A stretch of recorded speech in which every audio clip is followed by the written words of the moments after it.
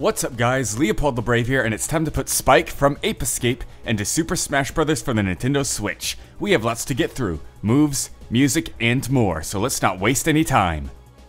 For Spike's standard attacks, he could simply dual wield the stun clubs like he does in Million Monkeys, and his grabs could be capturing the foes in his time net. And when it comes to his special attacks, there's a wide arsenal of gadgets to choose from. His standard special would be the Slingback Shooter. Now this item usually comes with three different types of ammo, regular pellets, exploding pellets, and he could shoot three powerful homing needles that lock onto foes and chase them down. And it would work that way in Super Smash Bros. 2, tapping the button to switch between the ammo and holding the button to pull back and fire. His side special would be the Dash Hoop, also known as the Super Hoop. Think of it like Sonic's Spin Dash ability, holding down the button to charge up your dash and then letting it rip. His up special would be the Sky Flyer, a helicopter-like gadget that propels you upwards slowly. And of course, since these propellers are spinning really fast, they'll damage any foes they touch. That makes it impossible for you to Meteor Smash Spike if he's trying to recover. But his body would still be vulnerable, so you could get him with regular air attacks too. Finally, his down special would be the RC Car. It's a speedy little toy that trips your foes as it drives under them. You could switch between control over yourself and the RC Car by pressing down special. I know you can control yourself and the RC Car in Ape Escape at the same time, but that would be pretty difficult to implement in Smash, so the down special would be the toggle option for that.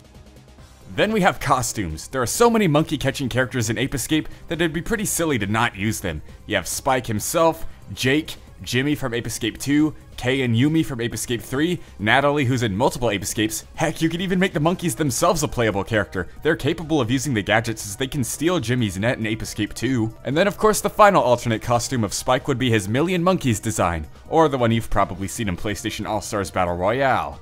The super gross one. Ugh. His final smash is pretty obvious. It's the satellite beam from Million Monkeys. And I know, I know it's the same as his level 3 special in PlayStation All-Stars Battle Royale, but honestly, it's the best choice. I mean, you could say the magic punch from how powerful it is, but it really isn't that cool and the range is kinda small. So I think this should be Spike's final smash, shooting a laser up that reflects off the satellite and bounces back to your foes, blasting them.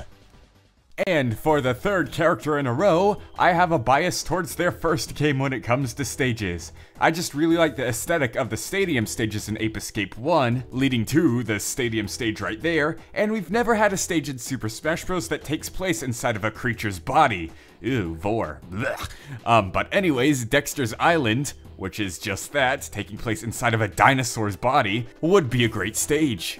And of course for assist trophies we have to have one of the monkeys, and I chose the green monkey since they're the most unique out of the bunch. They are extremely high alert in the Ape Escape games. They can detect you from the tiniest noise or even if you're super far away. And then once they spot you, they'll fire a ton of missiles out of their backpack that chase you down. And that's how they'd work here in Super Smash Bros. The only way for your opponents to stay hidden from their sight would be to stand completely still, but of course, that leaves them open to your attacks. Then the next assist trophy is Spectre. But Spectre doesn't help anyone, Spectre is no one's servant, so instead he'd make you the assist trophy. He'd use his mind controlling powers to control you, the player, on such a high level that even level 9 computers or level 50 amiibos couldn't reach. Spectre is one smart monkey.